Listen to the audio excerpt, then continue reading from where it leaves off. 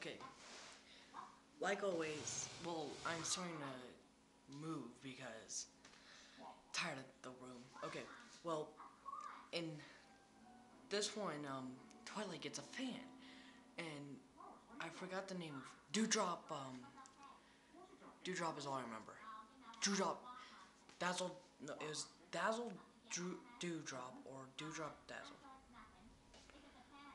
Okay, well, apparently, um, the fan likes Twilight so much that she tries to get she gets her hair dyed like her. But surprisingly, later on, she takes over her life. Twilight starts to get jealous, and um, after she gets jealous, she gets all crazy. She breaks, just like Pinkie did in one of the episodes. Now the funny, the craziest thing later on is that when Twilight totally breaks, she kill. She tries to kill Dewdrop by making a huge hole, tricking her into going there.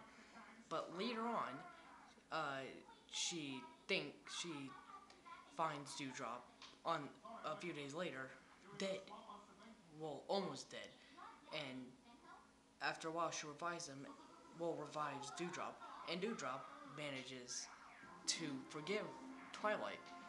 But then, at the end, the added thing is, she goes to um, uh, Trixie last. Okay, well, next I'm going to be talking about my fanfic I made, which most people say is surprisingly good. You can find it in the comments below in my channel. And thank you, so bye.